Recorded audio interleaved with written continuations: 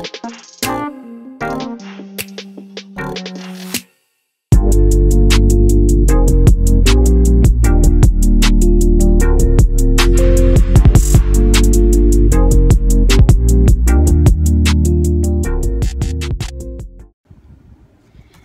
Assalamualaikum dan selamat malam. Malam ni cikgu akan continue yang sejarah part 2 hari tu, uh, tingkatan 4.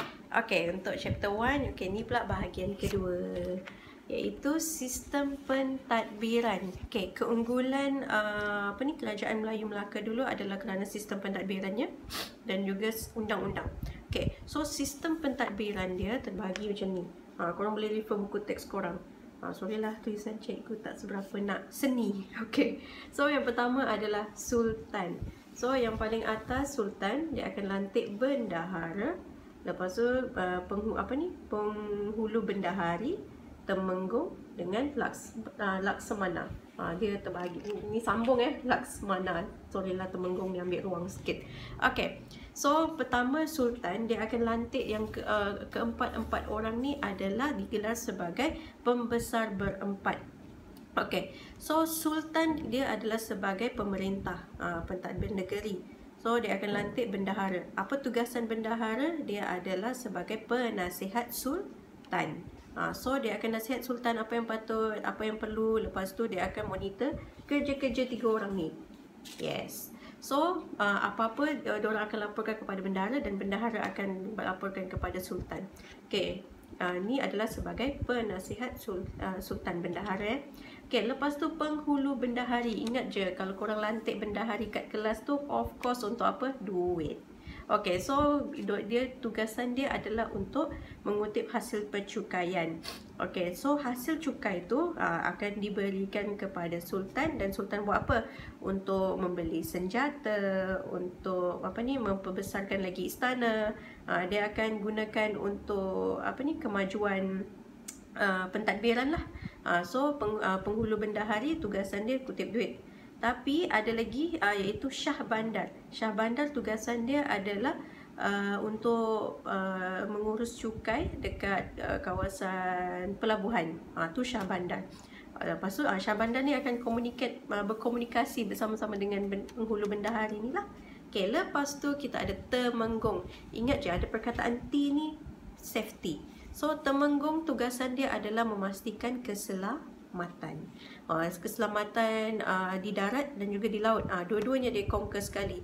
Uh, so, uh, ni tugasan Temenggung. Okay. Temenggung uh, memastikan keselamatan lah. Semuanya aman, apa semua. Tak ada pemberontakan ke apa. Uh, dia yang monitor semua. Okay. Untuk uh, Laksmana pula, dia akan sebagai Panglima Laut.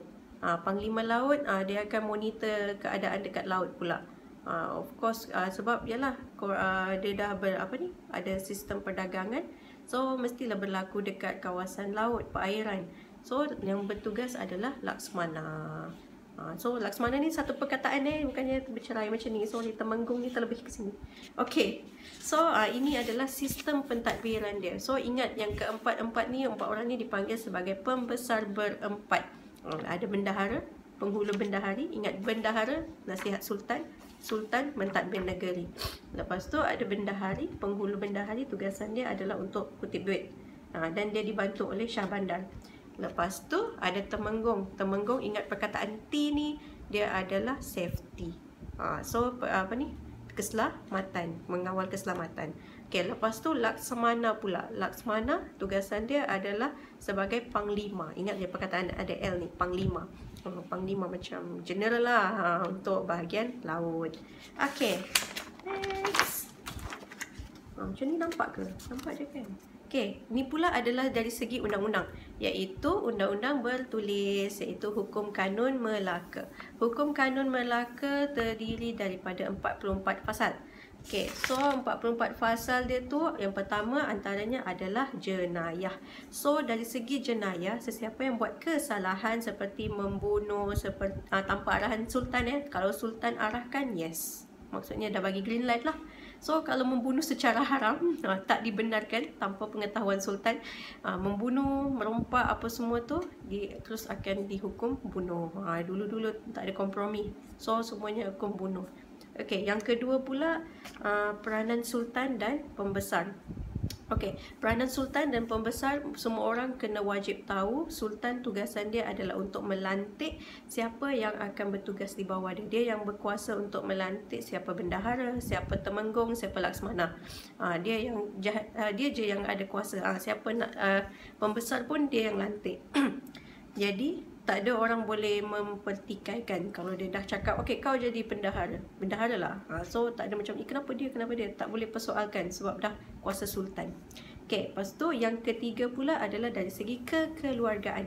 Ha, ni yang cikgu cakap dekat bahagian satu tu. Dari segi kekeluargaan uh, dia ada undang-undang untuk perkahwinan. So uh, syarat uh, dalam hukum kanun Melaka perkahwinan dia syarat dia kena ada empat orang saksi. Kalau tak cukup empat, dua pun cukup. Uh, so uh, tengok dia dah mempraktikkan apa ni uh, hukum syariah dekat situ. Okay, so dekat sini uh, uh, lagi satu uh, syarat dia juga uh, hamba apa ni hamba abdi dengan wanita tak boleh jadi saksi. Uh, so macam sekarang lah kalau nak akad nikah lelaki yang jadi saksi dan adalah uh, apa ni uh, uh, apa ni bukan sembarangan lelaki kena ayah dia abang uh, antara yang muhrim dia tu.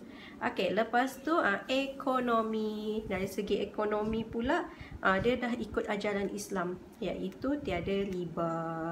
Uh, maksudnya kalau harga dia itu itulah. Tak ada bunga-bunga tak ada. Uh, tu so can apa ni tak boleh riba uh, lagi mesti melafazkan niat jual beli. Okey saya jual saya beli. Uh, tu syarat dia. Uh, so ini adalah hukum kanun Melaka nampak tak tu? Sebab tu pentingnya undang-undang. Uh, dia dah lengkap. Even keluarga pun ada undang-undangnya. Okey next. Undang-undang laut Melaka. Tadi semua dekat laut dekat ni? Dekat darat. So yang ni adalah undang-undang laut So dekat uh, undang-undang laut yang pertama adalah uh, peranan nakoda. Nakoda ni apa? Captain. So setiap kapal of course ada captain dia. Uh, macam kalau korang tengok Pirates Caribbean, uh, Jack Sparrow tu captain dia. Tapi tu tak boleh pakai. Sebab peranan nakoda dalam undang-undang laut Melaka, dia mesti tahu tujuan dia berlayar. Yes, dan dia mesti boleh apa ni memimpin lah. Uh, so dia pertama dia kena dia ada hak hak untuk berniaga selama 4 hari uh, dia kena apa ni? Uh, patuhlah hak dia tu. Lepas tu uh, kalau dia nak singgah mana-mana tempat dia kena bincang dan adakan mesyuarat dulu dengan uh, apa ni? Dia punya uh, ahli ahli kapal dia tu anak kapal. Uh, so tak boleh sembarangan. Okay hari ni nak pergi sini Esok nak pergi sini. Tak ada. Semua orang dah plan. Lepas tu kalau ada perubahan Kena bagi tahu. Uh, itu adalah peranan nakoda uh, Ni undang-undang dia lah uh, Peranan nakoda Lepas tu kalau hmm, apa-apa kena mesyuarat dulu. Okey, lepas tu kedua uh, apa ni? Peranan pelayar, pelayaran.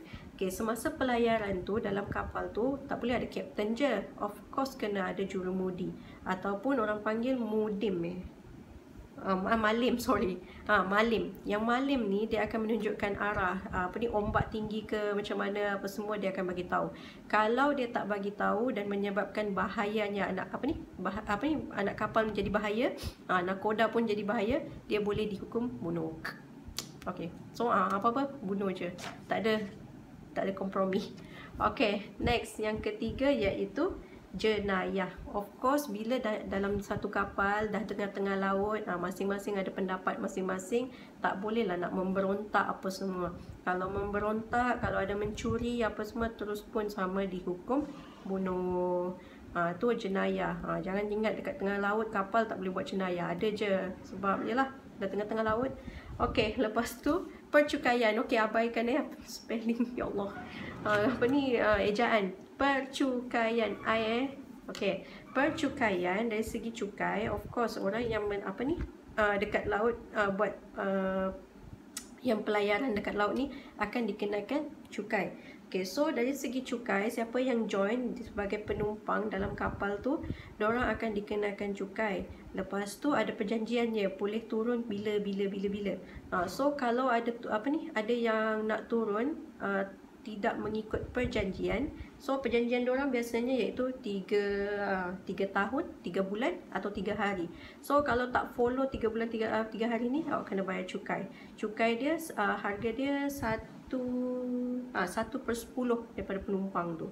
Uh, so tak boleh suka-suka hati lah. Yalah orang bergerak apa semua lepas tu tiba-tiba nak patah balik, nak balik. Tak sampai lagi 2 hari, 3 hari berlayar.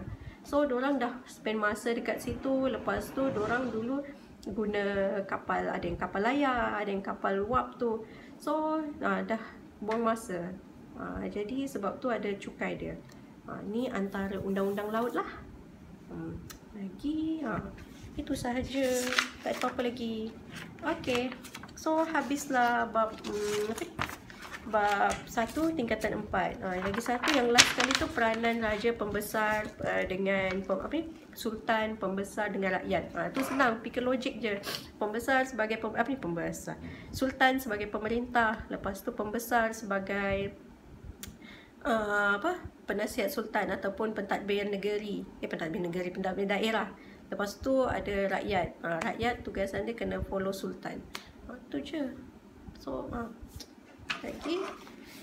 Ah. itu je lah. Tak ada apa-apa lagi. Habis dah bab satu. So yay. Okay, sebelum cikgu uh, akhiri video ni Cikgu nak Jangan lupa pre-order buku. Buku 3 4 Matematik Latihan 15 Januari ni Lepas tu online class untuk Januari telah pun ditutup. Dah full. So uh, cikgu akan announce dalam WhatsApp status cikgu biasanya Kalau cikgu dah tutup. So pem akan dibuka nanti Februari lagi. Sebab um, itu pun tertakluk kepada kekosongan. Okay, so itu saja. Jangan lupa like and subscribe. Thank you. Bye.